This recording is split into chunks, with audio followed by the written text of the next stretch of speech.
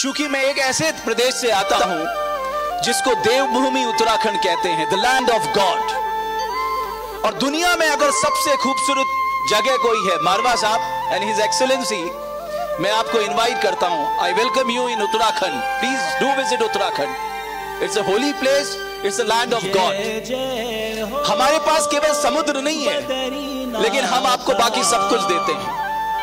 अगर आपको शेर की दहाड़ भी सुननी है आपको हमारे यहाँ आना होगा। और आपको अगर वैली ऑफ़ फ्लावर्स देखना है तो आपको हमारे यहाँ आना होगा। अगर आपको स्कीइंग करनी है तो आपको हमारे यहाँ आना होगा। अगर आपको एडवेंचर टूरिज़्म में आपका रुझान है आपको हमारे यहाँ आना होगा। और अगर आपको योग करना है जो लाइफ के लिए बहुत ज़रूरी है तो आपको हमारे यहाँ आना होगा। यानी देवभूमि उत्तराखंड में आना होगा।